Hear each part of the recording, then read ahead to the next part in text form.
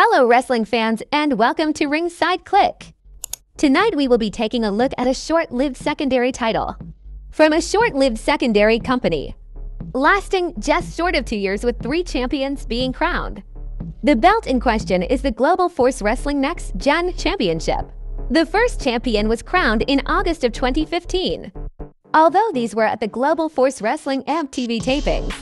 And the match did not air until October. Nonetheless, the inaugural champion was PJ Black who defeated Jigsaw, Virgil Flynn, and TJP in a four-way match. PJ Black held on to the title for a couple of months before dropping it to Sanjay Dutt at the Wrestle WrestleCade Showcase of Champions event in North Carolina. Sanjay would hold the belt for almost one year before dropping it to Cody at the 2016 WrestleCade event. In early 2017, Cody's contract expired. While he held the title, it was then deactivated. Well, there you have it. That is the short story of the Global Force Wrestling Next Gen Championship. GFW's time merging with Impact Wrestling was truly unique. Maybe we could go over it in the future. Okay, wrestling fans, we are out of time. Please like, subscribe, and do not buy gold from Jeff Jarrett.